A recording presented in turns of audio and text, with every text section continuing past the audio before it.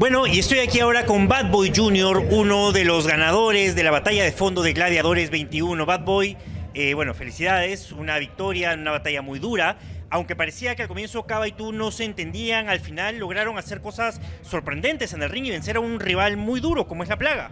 No hay rival duro, viejo. No hay rival duro. Para Bad Boy Jr. no hay rival duro. Ni siquiera Cava, el dichoso campeón. Hoy lo que viste fue de que Bad Boy puede ganar a dos, a tres, a cuatro, a todo este roster. Y si no me hubiera robado esa oportunidad titular, yo ahorita sería campeón. Hoy le regalé la dicha de pelear a mi lado, la dicha de aprender que es luchar al costado de un verdadero, un verdadero luchador. Y le regalé esa victoria. Se lo serví en plata y por eso es que ganamos.